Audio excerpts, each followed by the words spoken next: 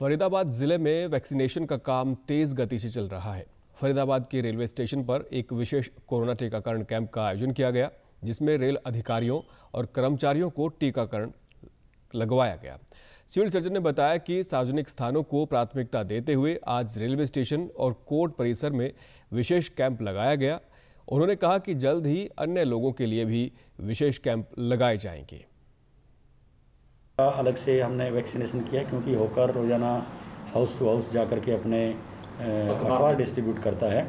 उसके बाद रेलवे में लोग बाग सफ़र करते हैं तो रेलवे स्टेशन के कर्मचारियों का आज हमने स्पेशल कैंप लगाया है क्योंकि वो लोग उन यात्रियों के आम पब्लिक के संपर्क में आते हैं।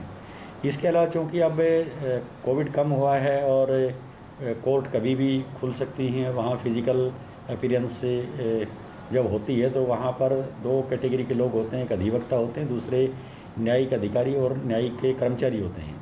तो उनके लिए भी हमने स्पेशल आज कोर्ट में और बार काउंसिल के अंदर हमने कैंप लगाया है। रेलवे स्टेशन अधीक्षक ए के गोयल ने बताया कि प्रशासन द्वारा विशेष कैंप लगाया गया ताकि जल्द से जल्द सभी का टीकाकरण किया जा सके और कोविड 19 प्रसार को रोका जा सके। गवर्नमेंट जो भी प्रयास कर रही है, व्यवस्था तो वहाँ करनी पड़ती है।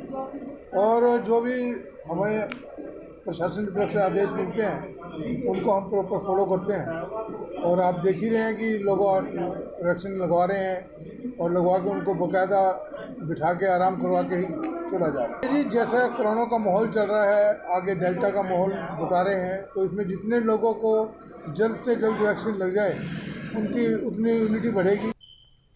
टीकाकरण करवाने वाले रेल कर्मचारियों ने रेलवे स्टेशन पर टीकाकरण कैंप की सुविधा की सराहना करते हुए कहा कि लोगों को कोविड 19 नियमों का पालन करते हुए टीकाकरण करवाना चाहिए।